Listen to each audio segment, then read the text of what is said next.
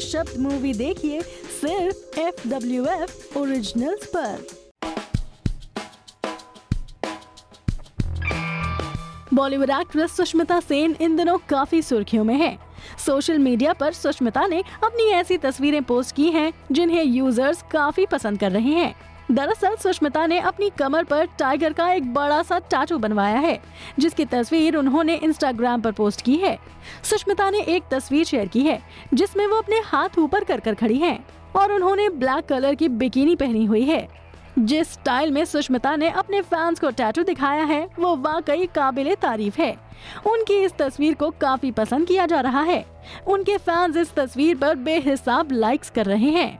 साथ ही लोग comment box में सुष्मिता की तारीफें करते नहीं थक रहे हैं।